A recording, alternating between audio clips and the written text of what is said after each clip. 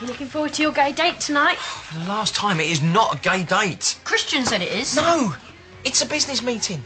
Okay, I am going out for dinner with a client who just happens to be gay for a business meeting. Is that what the client thinks? No. Remember, you're here under sufferance. Once we've got this party planned, we're having another vote. Yes, there is some confusion, but as soon as I meet him, I'm going to put him straight on a few things. Would that be before or after he signed the contract? It's an appalling thing to say. But are you suggesting that I would lead someone on just to get what I want? Why not? I would. See? Oh, so much for moral guidance. Why does this man think you're gay? I don't get it. Oh, I don't know. I can sort of see why. Yeah, me too. What? Yeah, you got a definite vibe. Sort of mincy.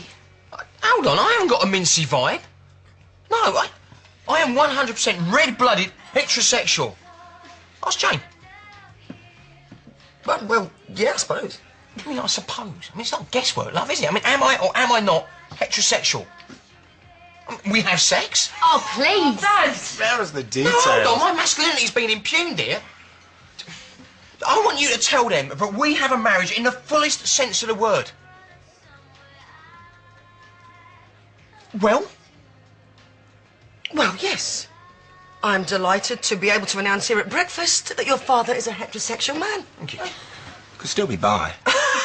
Does that mean both? Oh, that's it. We are having another vote. Steven!